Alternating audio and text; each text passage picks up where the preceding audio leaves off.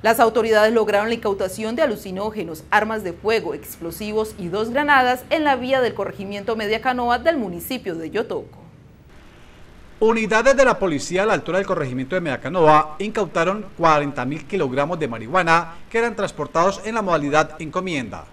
En otro operativo, hallaron un arma traumática modificada para producir disparos calibre 9 milímetros con un proveedor para la misma, un cartucho 37-38 milímetros, una barra de indugel de 500 gramos y dos granadas de 40 milímetros, material que era transportado en un vehículo que cubría la ruta Cali-Cartagena.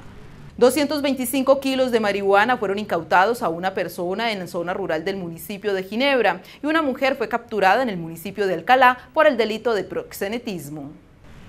En el Naranjal, zona rural del municipio de Ginebra, las autoridades lograron la captura de un hombre en momentos cuando este se movilizaba en un automóvil, quien hace caso omiso a la señal de pare por la cual se alertan las unidades y luego una persecución le dieron captura y tras practicarle un registro al automotor le hallaron 225 kilos de marihuana en la bodega y silla trasera del vehículo. A la altura del municipio de Alcalá Pereira, por orden judicial, fue capturada por el delito de proselitismo con menores de edad una mujer de 31 años, natural de la Tebaida Quindío, quien al parecer lideraba una red que se dedicaba a engañar adolescentes entre los 14 y 17 años bajo la modalidad de engaño con ofertas laborales y eran explotadas. La Policía Nacional en el municipio de Cartago logró la captura de alias Madero por diferentes delitos, entre ellos el homicidio. Sobre el tema habla el comandante de la Policía Valle, coronel Nelson David Parrado Mora. Bajo el liderazgo de la Fiscalía General de la Nación, nuestra seccional de investigación criminal logró un importante resultado en el municipio de Cartago. Logró la captura de Andrés Tazama Valencia, alias Madero, 34 años de edad y oriundo de Cartago Valle quien al parecer es cabecilla del grupo delincuencial común organizado Los Gamba. Esta persona habría participado en el asesinato del señor Luis Ángel Calderón, Peláez, de 29 años de edad, y lesionada la madre del Oxiso. Eso fue perpetrado el día 14 de mayo con arma de fuego en el municipio de Cartago Valle. Esta persona haría parte, de acuerdo a las informaciones de esta estructura criminal Los Flacos, quienes estamos trabajando contundentemente para lograr la captura de estos cabecillas de esta estructura de Los Flacos. Esta estructura está dedicada al tráfico de superpacientes y a la comisión de homicidios derivados de dicho negocio ilícito en el norte del departamento y el sur de los departamentos de Risaralda y Quindío. Esta persona capturada fue enviada a prisión en las últimas horas por los delitos de homicidio agravado, tráfico de estupefacientes y porte ilegal de armas de fuego.